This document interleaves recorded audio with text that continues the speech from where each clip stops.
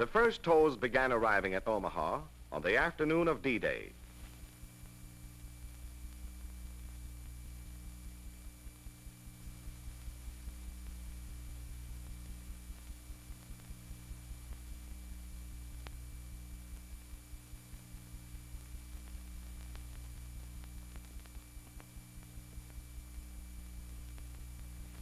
As the Phoenixes arrived, they were carefully jockeyed into position. Each Phoenix was simply a floating section of a seawall. And the problem was to sink the Phoenixes so as to form an effective barrier against the fierce channel waves.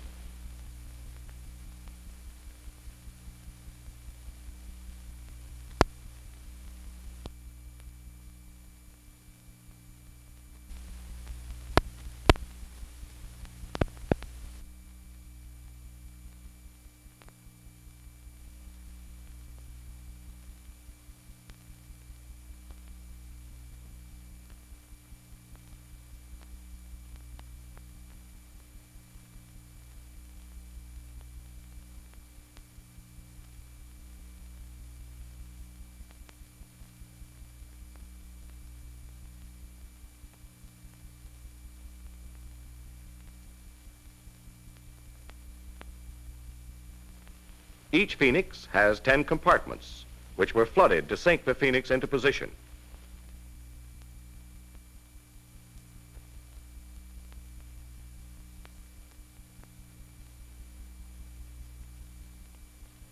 At high tide, the sunken Phoenixes had nine feet of freeboard.